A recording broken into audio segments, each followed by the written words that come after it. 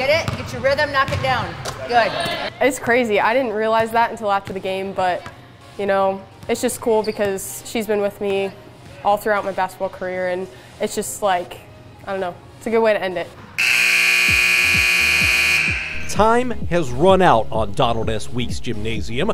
Columbia City will have a new high school building and thus a new gym next year. It means this three pointer by Olivia Shearer in last Tuesday's win over Northrop was the last three hit by a girl at Weeks.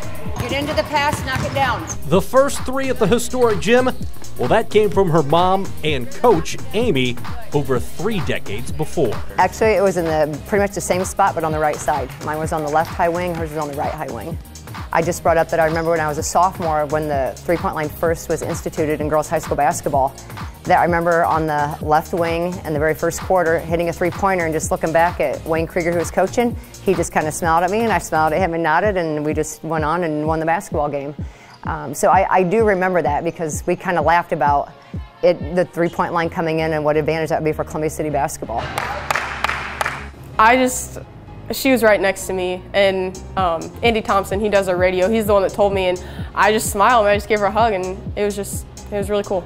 Yeah, it's a special relationship. We've traveled quite a bit playing basketball, but it's really been a, a whole family involvement. I mean, my son and my husband have both spent time rebounding for Olivia in our backyard. You know, my dad shot with me for hours and hours when I was a kid, and my dad shot with Olivia when she was a kid. You know, it's just kind of been everybody involved in that. Um, it's been interesting. I feel like when you have a kid and their parent is a coach, there's always potential for it to be a negative thing, but I feel like we've used it to our advantage, I guess, and the best it's been. And I think it's brought us closer in our relationship. And she's she's coach, but she's also mom. And I know when she gets on me, like just because she wants the best for me.